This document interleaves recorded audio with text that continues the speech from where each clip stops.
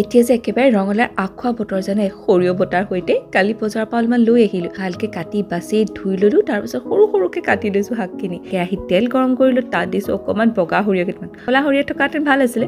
বাৰু পিঁয়াজ দিলোঁ অলপমান নহৰু দি ভালকৈ ভাজি ল'লোঁ। এটা ডাঙৰ আলু সৰু সৰুকৈ কাটি দিছোঁ লগতে দিছোঁ শাক। অলপমান লৰাই মেলি লোৱাৰ পাছত তাৰপৰা পানী ওলাইছে ন সেইখিনি আঁতৰাৰ পাছতে তাত দিম অলপমান নিমখ। অলপ দেৰি ভজাৰ পাছত তাত দিম অলপমান উতলা পানী লগত হালধি আৰু অকণমান লৰাই ইফালে আকৌ সৰিয়হ বটাটো ৰেডি কৰিছিলোঁ নহয় ক'লা সৰিয়হ বগা সৰিয়হ আৰু লগতে এটা জলকীয়া।